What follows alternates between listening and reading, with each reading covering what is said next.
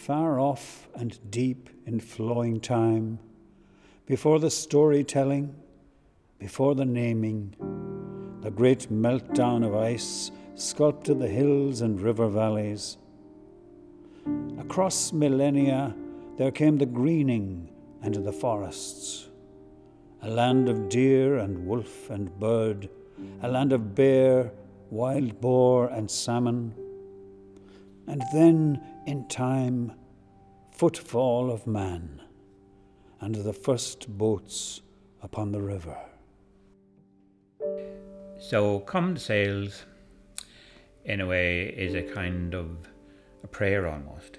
It's kind of a gut cry that those days of preeminence will come again. And as a corollary to that, well, then that everybody contributes to the sails coming again, to more prosperity coming again, to the greatness of his Waterford coming again.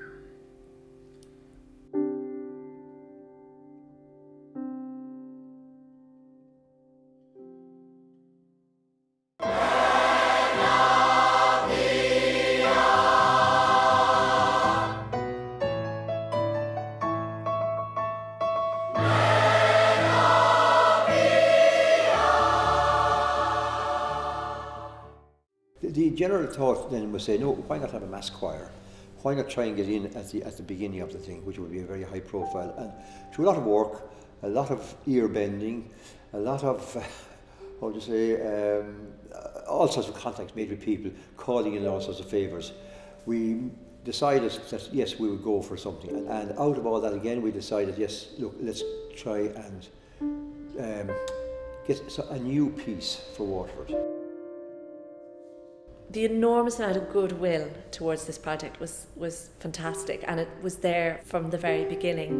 You know there was there was that leap of faith of people saying look if we you know we'll, we'll all pull together we'll make it happen. There was a great moment I, I remember early on when Niall Crowley said well maybe instead of just a poet and a composer, we should have one for each segment of the piece.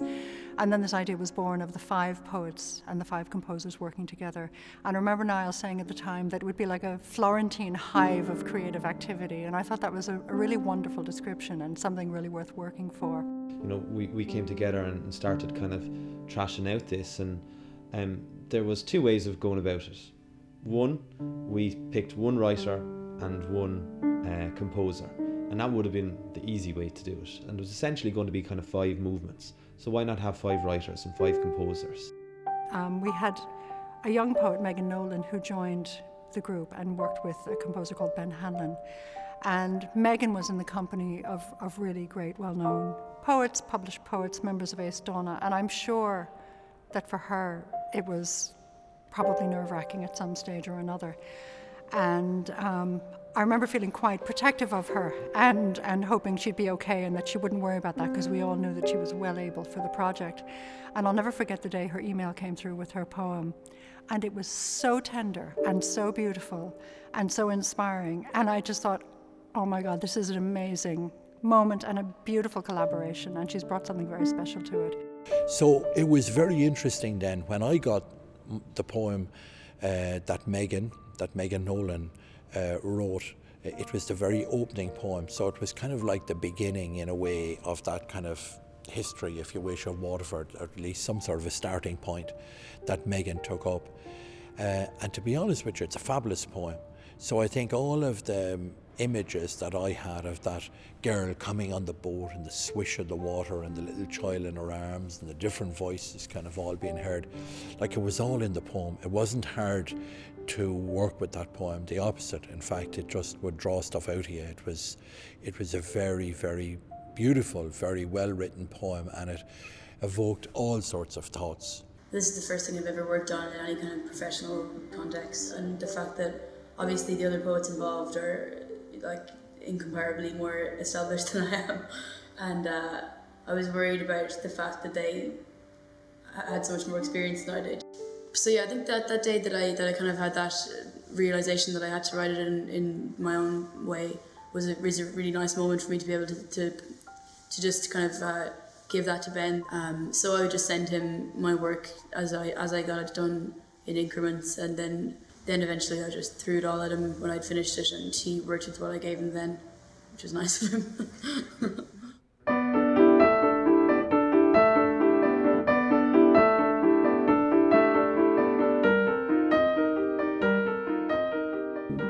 part in the work was uh, to write the text of a narrator's words, uh, comprising an introduction and then three sections of interlude narration between the other composers and poets' works.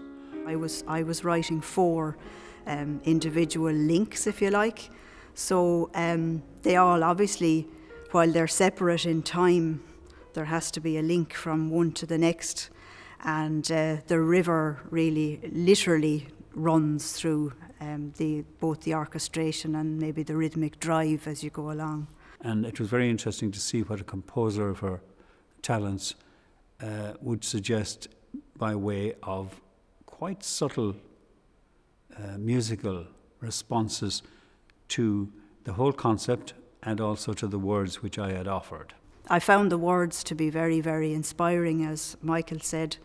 Um, they sparked off specific timbres and uh, we'll say gestures in range that I just wanted to work with. So I just found that uh, very challenging. And I suppose, uh, yeah, personally, I had never in my life written music that's separated. So, you know, that was a, a good challenge, I think, for me, something I'd never done before. I mean, a composer again is, is a kind of a, a, lo- uh, it's a solitary activity composition. So you're in charge of the beginning the middle and the end.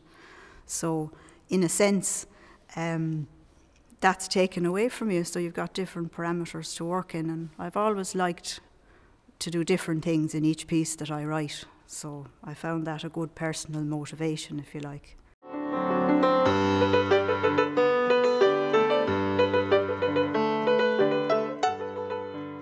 great Italian composer Monteverdi in the 17th century, he famously said, Prima le parole, poi la musica. First the words, and then the music. The words will suggest ideas to the composer, as indeed Mark's words did to me.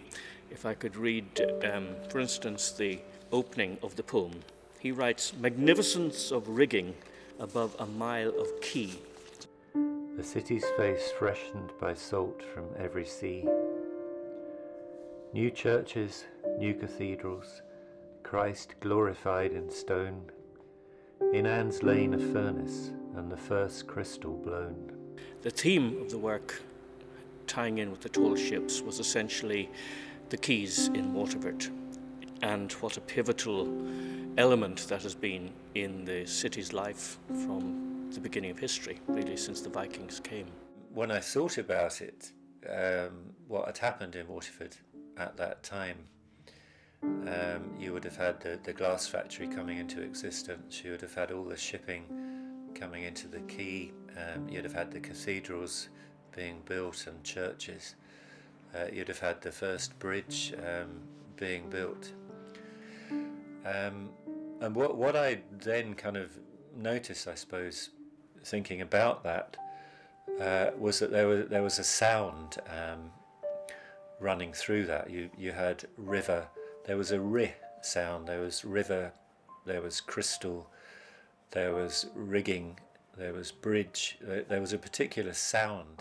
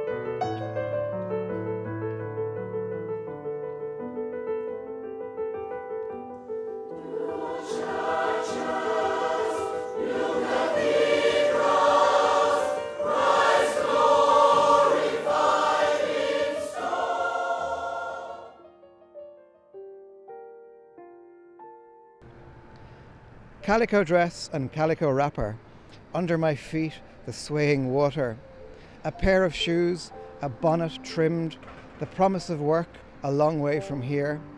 Take needle and thread, a cap and a coat, the tide goes in and the tide goes out. Um, then, when Peter sent me some of the lyrics, it was it, it was just terrific to find out that he had, even though we had discussed it previously, we hadn't given one another a definite direction. And his lyrics seemed to focus around the voice of the emigrant and r- almost reciting um, the, the list of objects they were taking with them. So there was there was a haunting loneliness about that, and there was a, a bittersweet, both the excitement of the voyage and what was remaining behind as um, a, a sadness at having to leave. Greg, I think he worked with the, the mood of the piece, um, and he, he, he, he worked on kind of coming up with a setting based on um, the initial kind of, I suppose, um, verses of, of the poem and the sound of those, the sound of like the calico dress and the calico wrapper. So he was kind of playing very much with the sound of, of, of the words.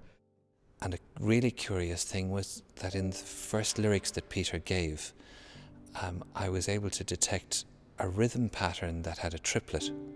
Now, that might sound strange, and he actually sent me back a lovely email to say it was curious and interesting having a musical reading of the patterns within his lyrics. But it gave me a triplet feeling, um, and I was able to build on that for both the main theme and for the, the supporting work that the choir was doing. It then musically became a single voice with these tiny patterns of triplets behind. And for me, that was the single voyage, but the lapping of the water at the same time surrounding the, the initial message.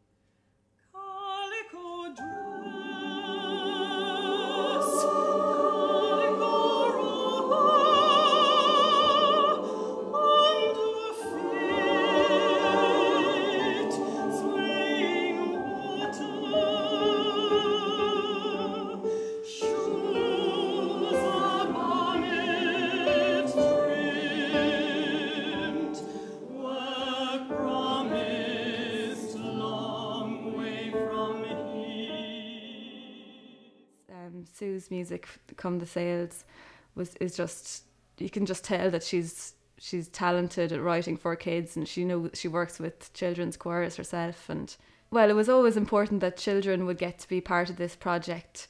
There was going to be a specific part written for them in the finale.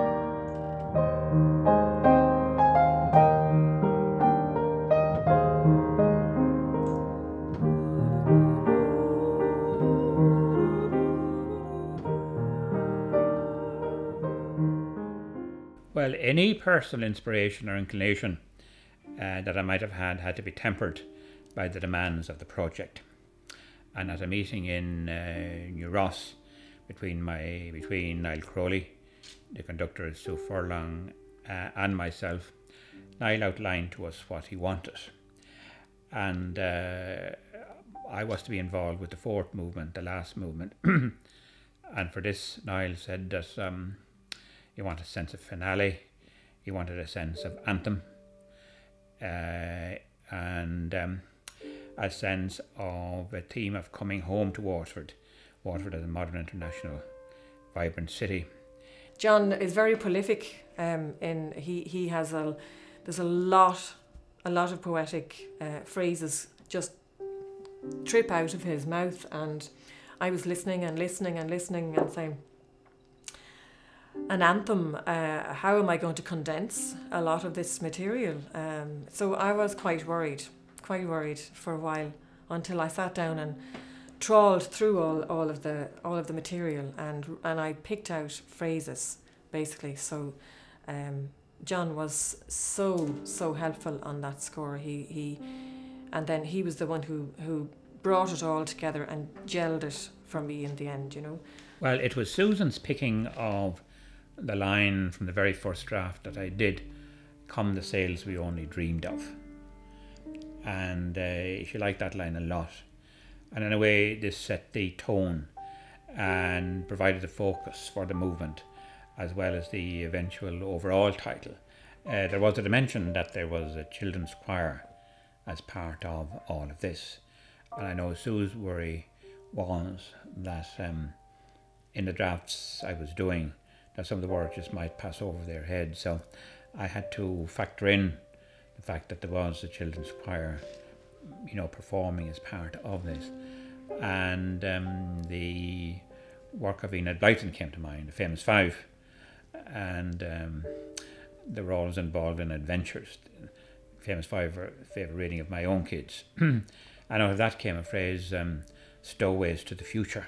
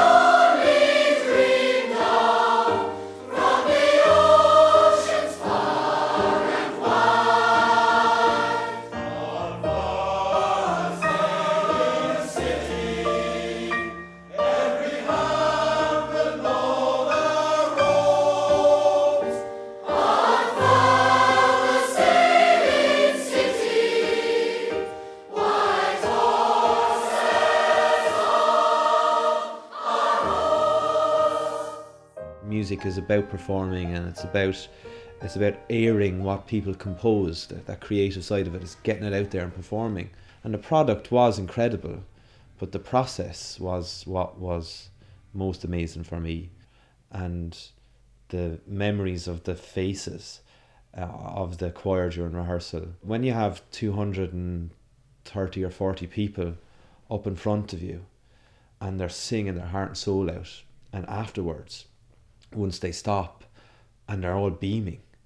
It's unbelievable. And they didn't get all to see that. They maybe felt that, but they didn't get to see that. And I got to see that, you know, numerous times over the course of the process. So I think for me, the kind of fondest memory was kind of that sense of, golly, the people that were involved in this were incredible. So that's my memory.